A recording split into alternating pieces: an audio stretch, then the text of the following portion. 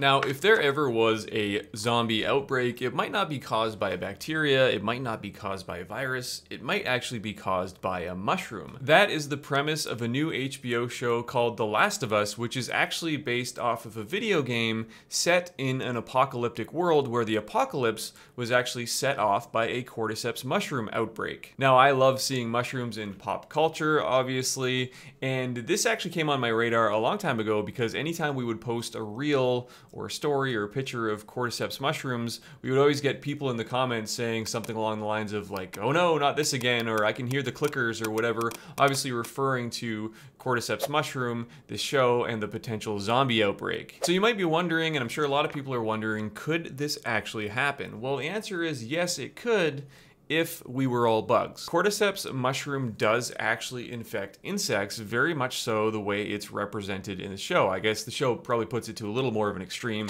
So basically the spores of cordyceps mushroom will infect these insects. They will take over their body, they will grow through their body and their brain, and they will kind of control them, turning into a zombie and getting them to do their bidding. But luckily, this can't happen to humans, or at least it hasn't been shown to be able to happen in humans yet. And there's a couple of reasons for that. Number one, cordyceps is a host specific fungi. So it only is able to infect certain types of organisms, those again being bugs like ghost moths or bullet ants. Second of all, they just don't have the right stuff for the right enzymes to be able to reproduce properly in human tissue. So even if they were to get into our body or into our bloodstream or something, they wouldn't be able to use that and be able to grow into hyphae and mycelium and take over the body like they do in insects or like it's represented in the show. It's just not possible. Finally, our immune systems are actually very well adapted to deal with these types of fungal pathogens. And this is actually something that we evolved over time because